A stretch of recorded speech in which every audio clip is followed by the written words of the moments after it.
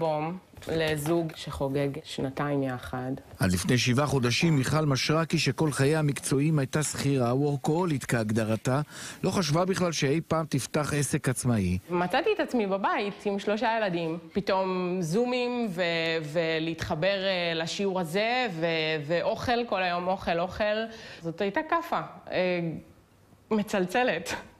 והיה הרבה תסכול והיה הרבה כעס. אבל uh, הבנתי שאין מה להתווכח עם המציאות. עכשיו היא מוכרת את התוצרת שלה ברשת. אני מכינה אלבומי uh, תמונות בעבודת יד, קופסאות, אני ממש מרכיבה את הכל מאפס. זה התחיל כתחביב שבו הכינה לחברים ולמשפחה אלבומי קונספט, אבל פוסט אחד שפרסמה בפייסבוק בימי הקורונה חשף אותה וההזמנות התחילו להגיע. מכרתי בעיקר טלפונית ובפייסבוק אנשים היו מגיעים אליי, ועכשיו בימים האלה אני בונה אתר. שדרכו יהיה אפשר גם לקנות חלק מהמוצרים באונליין כמובן. אני עובדת עם חברת שליחויות, אז אני מגיעה...